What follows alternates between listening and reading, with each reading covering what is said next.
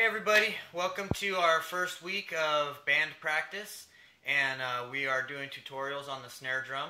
So uh, the book that we are using is the Standard of Excellence. It's going to be your red, uh, it's got the red cover on it and this is available at most music stores, uh, Nick Rail Music and Owens Music. Uh, they both offer them. Um, make sure that it's the uh, red label. This is the one that we're going to be following throughout the year, and it's the Enhanced Comprehensive Band Method. Uh, if you are a drummer, you want to make sure on top it says drums and percussion. Uh, so look on there, make sure you don't have the trombone or trumpet or something like that, okay? Um, so our homework for this week was to go to uh, the first page here, page two, and it says putting your snare drum together. So in here it shows you how to uh, assemble your snare drum and set up the stand.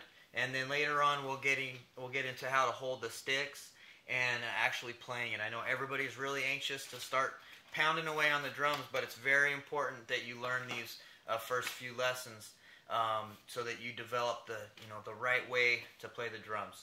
So we've got Emery helping us today, and so she's going to take her stand out here, and uh, so I'll kind of explain uh, while she's setting it up uh, exactly what we're doing. So go ahead and grab your stand there.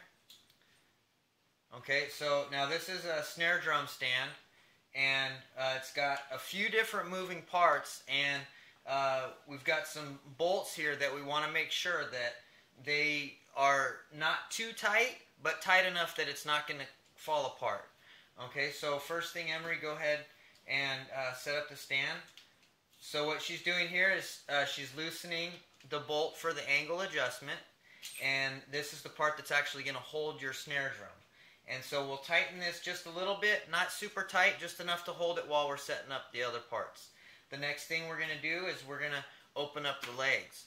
And uh, we want our legs to, to be spread out far enough that it's not going to tip over, but you don't want it completely flat. And I'll show you here right now once she gets that bolt tightened right where we want to have our legs set up. So if you can see here, uh, it's got a nice angle, and so it's basically we don't want it completely flat like that. It's just it's not good for the stand. We want it just a little bit up, and we're going to tighten this bolt right here. Not super tight, but tight enough that it's not going to you know loosen up and move on us while we're playing. Um, if you over tighten it, uh, it's going to wear this part out, and also it's going to be really hard for you to loosen when you want to put your drums away. Um, okay, so go ahead and uh, set your stand up. Uh, we're going to put that on the floor now. Okay, now on here it's got an angle adjustment and you can see when I loosen this bolt this will tip back and forth and usually what I do when I set it up first is I'll, I'll put it kind of level but tilt it back just a little tiny bit and then we want to tighten this. Again, don't over tighten it, just enough that it's not going to move on you when you're playing your drums. Okay, so before we actually put our drum on top of the stand, we want to check all three of these bolts to make sure that they're snug, that they're nice and tight. And uh, they're all good and tight.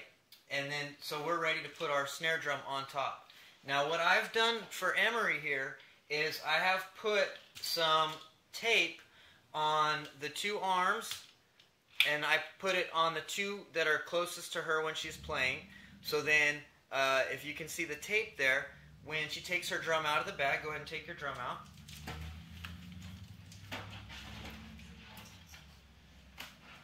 We've got on the actual drum here uh, the parts that hold the snare and uh, the lugs that hold the heads onto the drum, and I'll get into all the parts right now. Um, but you don't want any of those to be up against the part where you hold it. So I've put green tape on the two sides that match the two sides where it actually sits on the drum. So go ahead and set your drum on and get that and get the green tape lined up with the part that holds it. Okay, so she's lining up. We want this to, to hold it inside. We want the drum to sit inside the handles, but Okay. And it's going to take you a little practice. Keep working on it. Um, the main thing is is that uh, you set it up the same way every time. So each time you play your drum, it's going to sound exactly the same way that it did the last time. And uh, so down right under here on the bottom is an adjustment screw, and what that's actually doing is that's tightening the arms that hold the drum. We want it to hold it nice and tight uh, so that the drum doesn't move around while, while we're playing it. And usually what I'll do is I'll kind of wiggle the drum a little bit while I'm tightening it down here on the bottom. And then that way I know that uh, all three of the arms are holding it nice and tight. Okay? So what I have Emery doing right now, go ahead and do it again, is I have her lifting up the drum. And make sure the stand is not going to fall off when you lift up the drum. Because if the drum falls off right there, then you know it's not tight enough. So that's kind of like the test to make sure that it's tight enough. Now the next thing we want to do is we want to make sure that it's level but slightly leaning towards you. So just tip it just a little bit back towards you and tighten that adjustment. The other thing is we want four inches below your waist because you don't want to be playing up here and you don't want to be playing way down here. You want your arms to be sideways like this and so you can just play nice and easy. So we want to make sure that we have it about four inches below the waist. And that's done with the height adjustment screw. So we drop it down so that it's a nice comfortable position and you've got your drumsticks and, and you just want to hold your arms out with your drumsticks. Make sure it's going to be a comfortable position. Okay? So uh, now that we know how to set up the stand and put the snare on, uh, we need to look at the different parts of the snare. And so I have my drum here that's already torn apart. You've got several different parts. You've got uh, the shell, which is the outside of the drum, okay? And that's actually what is going to hold the drum heads on. Okay, the other thing we've got is the head, and this is the part that when you hit it makes the noise. Okay, that, and um, but this doesn't just hold on by itself. We need a rim. So we have the ring here. This is the rim that will actually hold the head to the drum, and that goes over the top like that. Now, in order to hold the ring on the rim, we have the lugs and the lug bolts. Okay. Now these right here are uh, you've got usually eight, sometimes ten um, bolts on on your snare, and uh, they go in there, and you tighten those down. And we'll get more into the proper tensioning, how to actually tighten the bolts down. Uh, there's a certain pattern that you want to do so you get a nice, uh, even um, sound out of your drum. You don't want it too tight on one side or too tight on the other. Now, the thing that makes the snare noise is on the bottom, and that's the strainer here. These are the little wires that actually gives the drum that unique sound. And there's a tensioner on here that will tighten and loosen those snares. And if you move that down, it makes them loose. When you tighten it, it makes them tight. And we'll show you on Emery's drum right now the different sounds that you get. Okay, go ahead, honey, not too hard. So first she's going to have it tight and it'll make that snare sound. Now go ahead and loosen it. Okay, and hit it again. You hear that? It has a, uh, it's more of a timbale sound.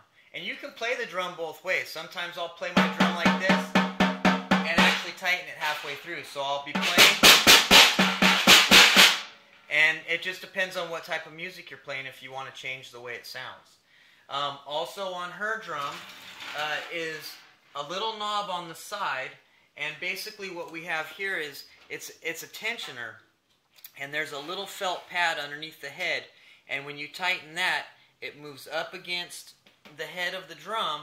And so it will actually make it a little bit quieter so it doesn't ring so much. And especially if you're playing at home and your mom and dad is already noisy. So if you tighten this up a little bit, it'll take some of that extra noise out of it. And then Emery, if you can hand me that white ring over there.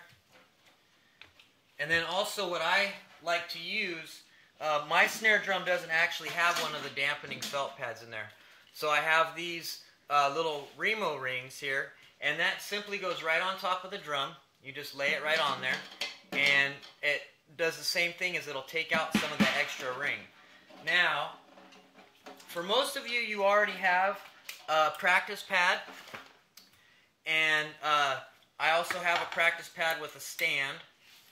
And so this one will just screw right on here. It's got a little bolt on it. And so you can pray, play with your practice pad. That's a lot better for at home and it doesn't make so much noise, but you can still practice your stick movement. Okay?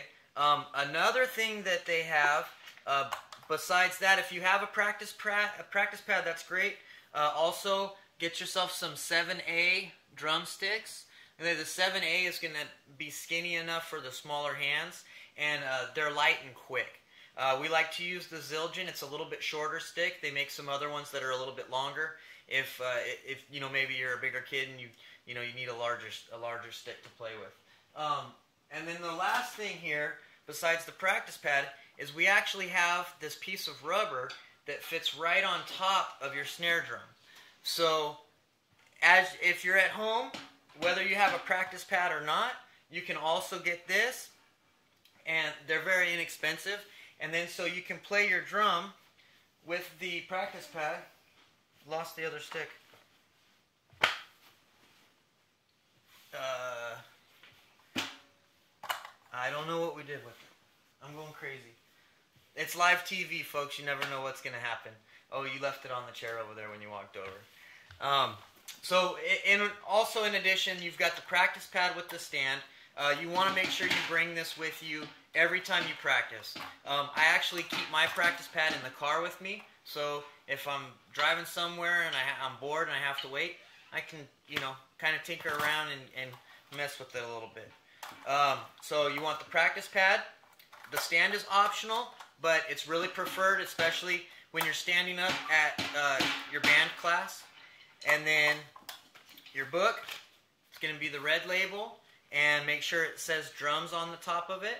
Okay, we're going to be referring to this a lot. Uh, so page two and three is the first thing that we want to go over with how to set up and how to hold your sticks and actually playing it. And then also in the back, there's a lot of music and, and stuff in here that we're going to get to later.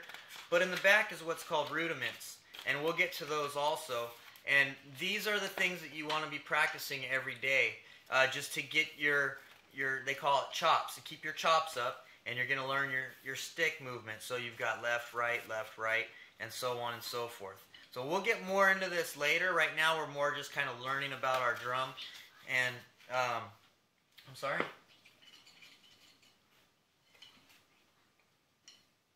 The right, left. Are you talking about the paradiddle? Oh, she's talking about the paradiddles. Right, left, right, right, left, right, left, left, right, left, right, right, left, right, left, left. And that's a fun one. I've been drumming for 30 years, and I still, you know, that that's one of the the fun ones. It's kind of got the different beats, but there's so many different rudiments, and you can never learn enough. Believe me, even after playing this long, I'm still learning new new stick movements, and um, you can never have enough practice. You know.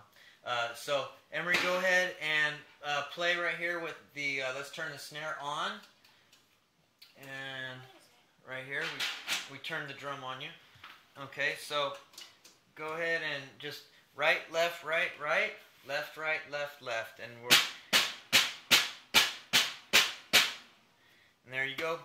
So uh, you guys have a good one. Uh, please check out more videos, and uh, I promise you, as time goes on, we'll get a little more sophisticated with uh, our production techniques.